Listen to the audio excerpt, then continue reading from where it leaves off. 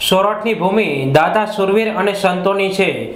ગિરનારની આસપાસ તપસ્યા કરતા હજારો સંતો થઈ ગયા છે. એવી જ એક તપોભૂમિ આશ્રમ કેશોદ તાલુકાના અજાબ શેરગઢના સીમાડે પૂજ્ય શ્રી કેશવ કલિમલહારી બાપુની ચાલીસમી પુણ્યતિથિની ધામધૂમથી ઉજવણી કરવામાં આવી છે.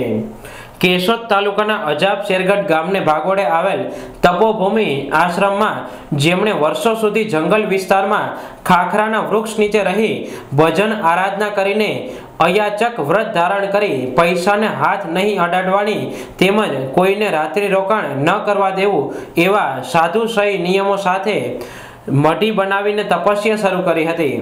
સમય જતાં આજુબાજુના ખેડૂતો બાપુને રોજ દૂધ આપી જતા. આમ સેવક સમુદાયની અવર જવર વધતા ત્યાંથી શેરગઢના રામ મંદિરમાં થોડો સમય રહી મેંદરડા રાધાબા આશ્રમમાં રોકાયેલા અને બાજુના ભથ્થેશ્વર મહાદેવની બાજુની ગુફામાં ભજન કરેલું. પરંતુ ફરી પાછા તેઓ શ્રી અજાબ શેરગઢના સીમાડે પોતાની જૂની જગ્યાએ આવી મૌન ધારણ કરી જીવન જીવેલા. એવા તપસ્વી સંતની ચાલીસમી પુણ્યતિથિમાં આજરોજ આશરે ચાલીસ હજાર જેટલા ભાવિકોએ પ્રસાદનો લાભ લીધો હતો. આ રસોડા ભંડાર બનાવવા માટે આજુબાજુના અજાબ શેરગઢના બસો પચાસથી વધારે સ્વયંસેવકોએ આશરે એક અઠવાડિયાથી કામગીરી શરૂ કરી હતી.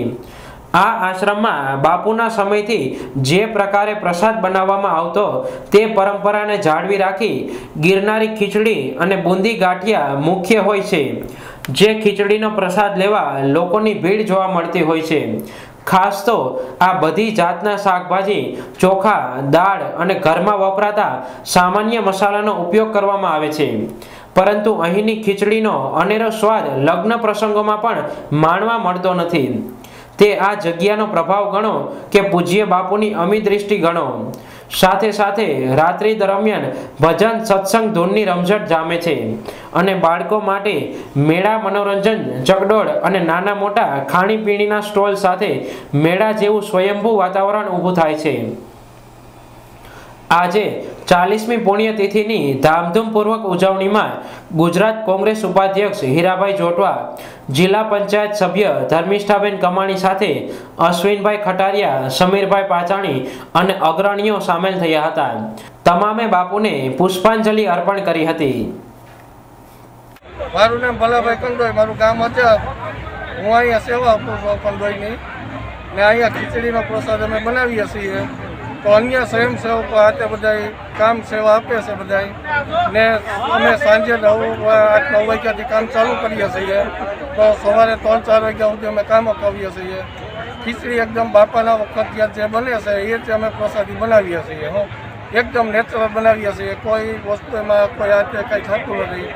ચોખા, મગદાળ પછી અન્ય મસાલા બધા શાકભાજી અન્ય બધું ને સ્વયંસેવક બનાવે તો આ જ ક્વોલિટી પ્રસાદીની બને છે. પ્રસાદીમાં કોઈ ફેર પડતો નથી.